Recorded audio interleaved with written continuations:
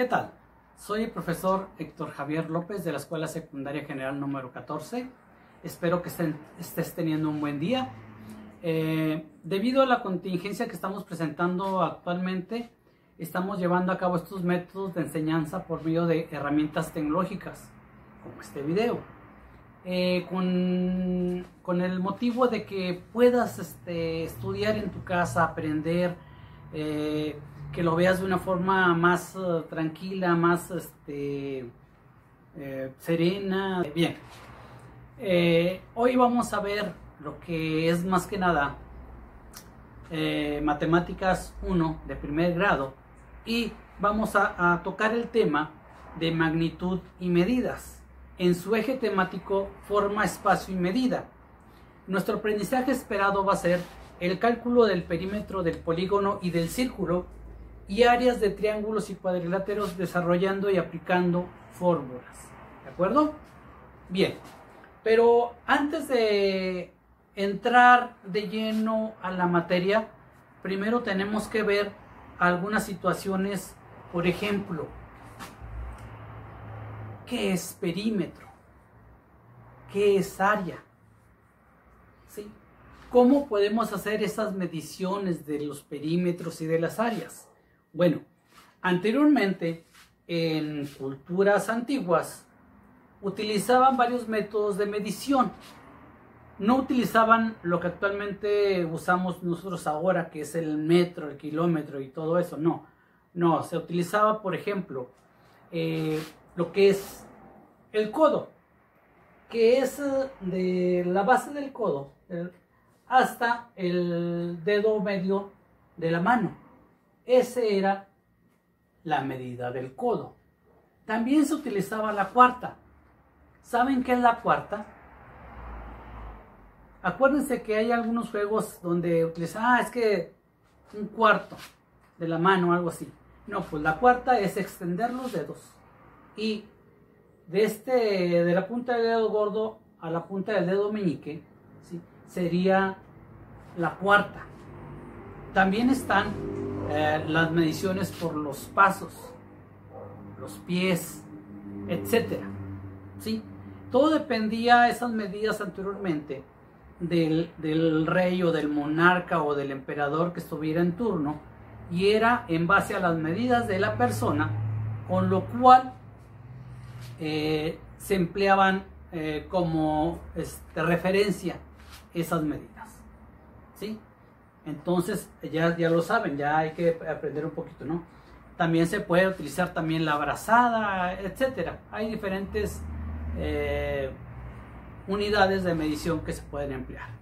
Ahora, actualmente nuestra base eh, o nuestra unidad es el metro. Acuérdense que el metro se puede dividir en decímetros, en centímetros, milímetros, etcétera o los múltiplos del metro, que son el kilómetro, el hectómetro, etcétera. ¿Sí? Entonces, eh, eso es lo que vamos a utilizar para hacer mediciones, ya sea de perímetros o, o de áreas.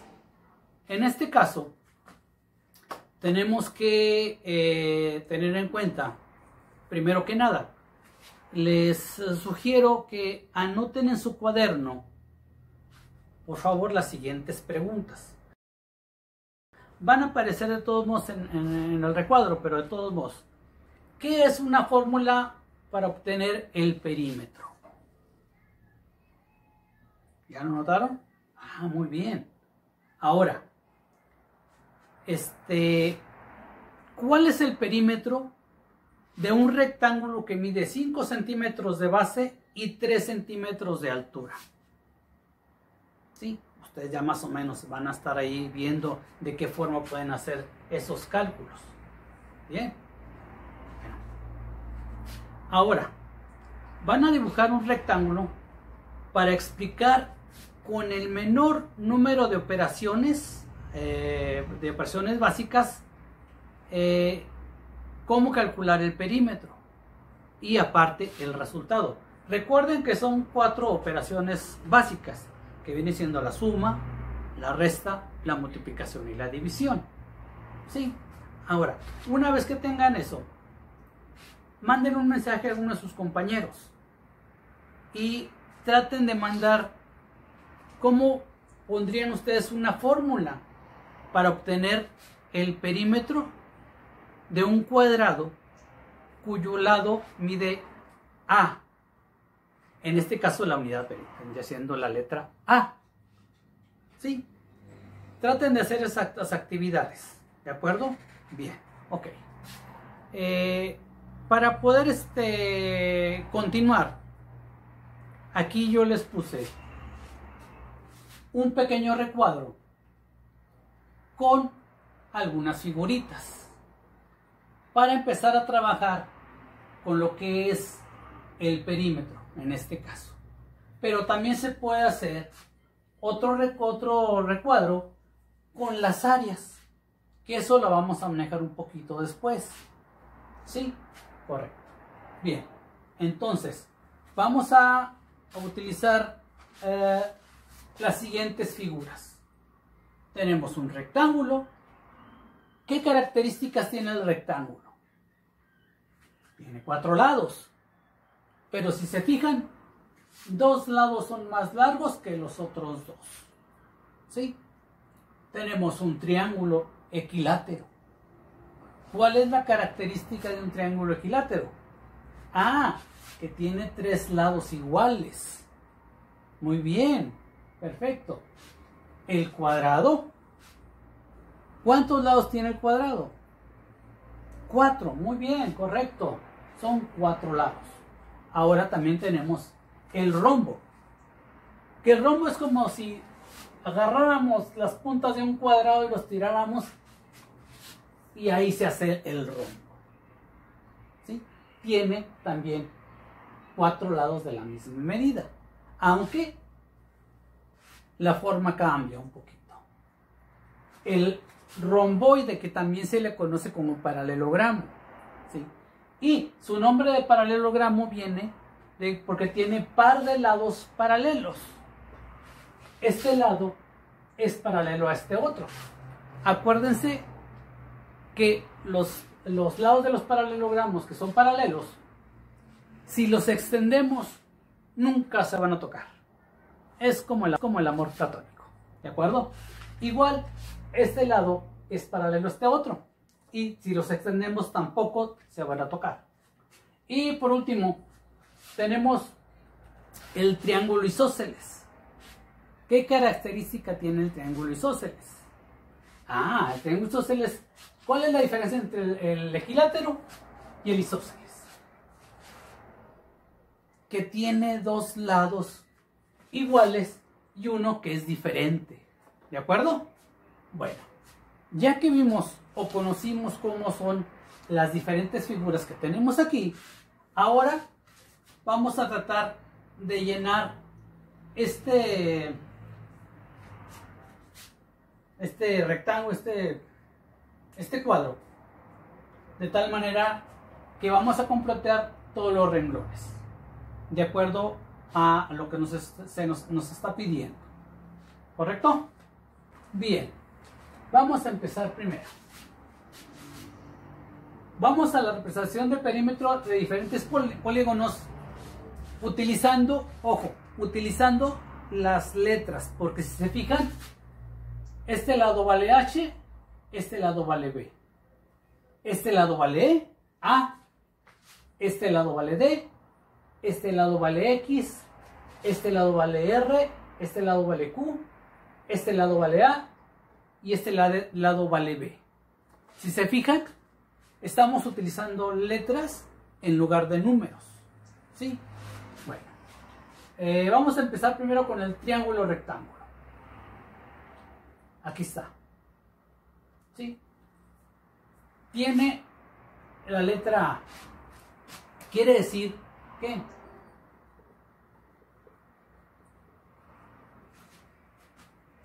que tiene la letra A, A y A. ¿De acuerdo? Esa es la representación de las medidas de cada uno de sus lados. ¿Por qué 3A? Porque son tres lados. ¿Sí? Ahora, ¿cómo vamos a obtener el perímetro?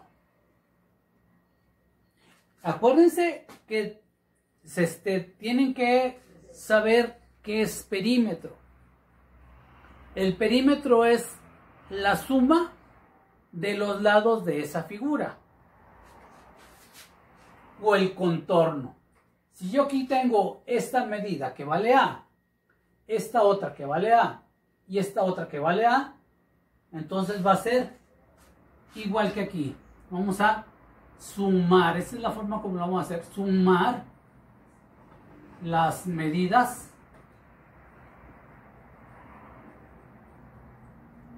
de los tres lados. ¿Sí? Ahora, ¿cuál sería una fórmula desarrollada? Si decimos que eh, el perímetro es la suma de los lados, ah, bueno, pues entonces vamos a sumar las cantidades o la medida de cada lado. ¿Cuánto, ¿Cuánto mide el primer lado? Ah, vale A. ¿Cuánto mide el segundo lado? Ah, también. Pero acuérdense que es sumar. Ah, pues le sumamos más A. ¿De acuerdo? Y nos falta sumar el otro lado. Más A. Ahora, yo les pregunto, ¿cuántas A en total tenemos? Tres. Entonces, el perímetro va a ser 3A. ¿Sí? Porque tenemos 3A. 1, 2, 3. Aquí está. 3A. ¿De acuerdo? Eso sería para el triángulo equilátero. Y el triángulo equilátero es el que tiene tres lados iguales. Vamos a continuar con la segunda columna. Perdón. ¿Sí? Estamos hablando de un triángulo isósceles. ¿Dónde está el triángulo isósceles? No lo veo, no lo veo. Ah, acá está. ¿De acuerdo? Ahí está. ¿Tiene cuántos lados? También tiene tres. Entonces, ¿cuáles son la representación de las medidas de cada uno de sus lados? Ah, pues vamos a empezar. Aquí sería uno. Sería A. Sería el primer lado. El segundo lado sería también A. Y por último, el tercer lado, que es B. Ahí está la representación de todos sus lados. Y luego, ¿cuál es la forma de obtener el perímetro? Esta ya la teníamos en nuestro recuadrito. Sumar las medidas de los tres lados. Ah, ¿y cuál será su fórmula desarrollada? Ah, pues la suma de cada uno de sus lados. Perímetro es igual a A más A más B. ¿Sí? Ahora, una forma más simple de poner la fórmula del perímetro. ¿Cómo sería? Bueno. ¿Cuántas A en total tenemos? Ah, tenemos dos A y solamente una B, correcto. Muy bien, qué bueno que me estén ayudando desde sus casitas, ¿eh? Se los agradezco mucho. Perfecto. Ahora, vamos a ver el cuadrado. Este tiene cuatro lados. ¿Es el cuadrado? ¿Sí o no? Ah, ok. No lo es. Perfecto. Este también tiene cuatro lados será el cuadrado. Sus lados son iguales. Pero no tienen forma de cuadrado, ¿verdad? Perfecto. Acá tenemos otro que también tiene cuatro lados. ¿Será cuadrado? No, ¿verdad? Porque tiene dos lados más grandes que los otros dos. Entonces, este es el cuadrado. Tiene cuatro lados. ¿Y cómo son sus lados? Iguales. Perfecto, muy bien. Entonces, vamos a representar las medidas de cada uno de sus lados. Que sería, en este caso, cada lado vale D. la letra D. Entonces el primer lado sería D, D, D y D. ¿Por qué puras D? Porque los cuatro lados miden lo mismo. Perfecto, de acuerdo. Ahora, forma de obtener el perímetro. Multiplicar cada lado. ¿Seguros? ¿Si es multiplicar los lados? No. Acuérdense que el perímetro es la suma de sus lados. No tengo que multiplicar o dividir. Ah, entonces tengo que poner sumar las medidas de los cuatro lados porque son cuatro.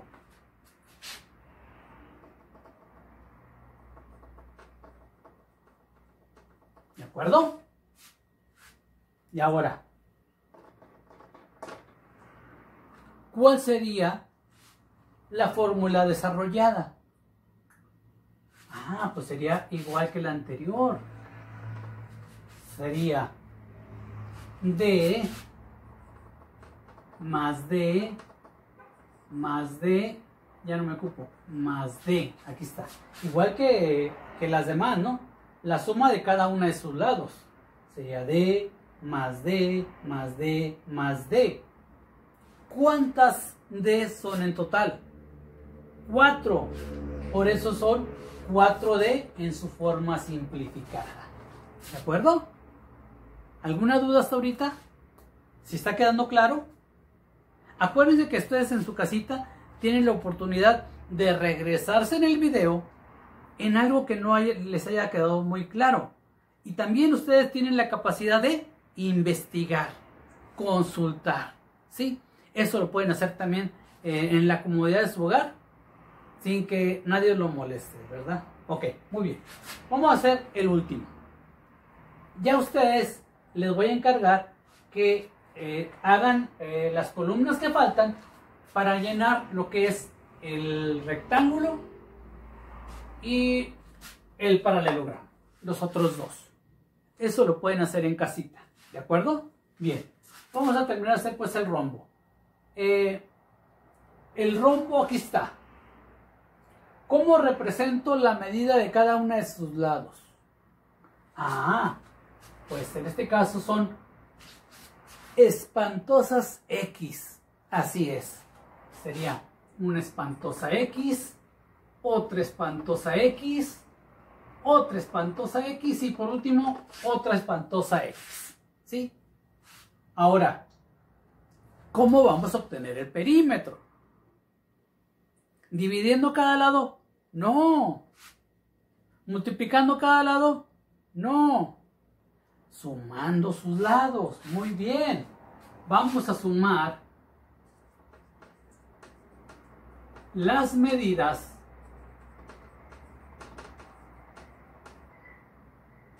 de, en este caso también son cuatro lados. Como los cuatro fantásticos. Muy bien, de acuerdo. Ahora, ¿cuál es su fórmula desarrollada? ¿Ya la visualizaron? La tienes mal, Jorge. Tienes que volverla a hacer otra vez. Perfecto. Ok. Sería de la siguiente forma. Sería x más x más x más x. Ahí la pongo abajo porque ya no me ocupo aquí, pero eh, ustedes en su libreta sí traten de, de acomodarla de tal manera que sí puedan eh, completar toda la expresión. Ahora, ¿cuál es su fórmula simplificada?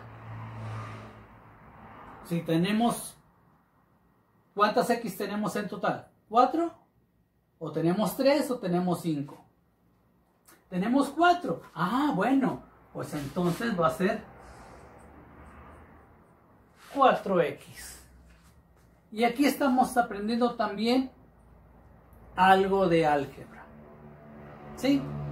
Bueno, ahí en sus casitas les voy a encargar que realicen los siguientes ejercicios que tienen que ver con todo lo que acabamos de hacer, aparte de que me van a completar las dos columnas que me faltan y que van a poner lo que es el romboide o paralelogramo y el rectángulo, para que me hagan también, ¿sí?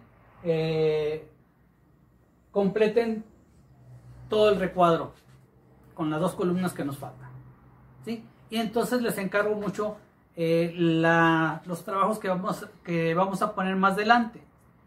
Entonces, ya saben, si hay alguna duda o algo, pueden regresarle al video. Algo que se les haya pasado, tranquilamente. ¿Sí? Bien. Eh, por mi parte, por, el día de hoy, ha sido todo. Eh, les recuerdo mucho, mantengan la cuarentena, hay que seguir quedándose en casa hasta que las autoridades sanitarias nos indiquen que ya podemos salir. Entre más tiempo nos quedemos en casa, más rápido vamos a salir de esta pandemia. Bueno, entonces por mi parte este, me despido. Soy el profesor Héctor Javier López de la secundaria 14 y ya saben, no olvides darle un like a este video. Bye.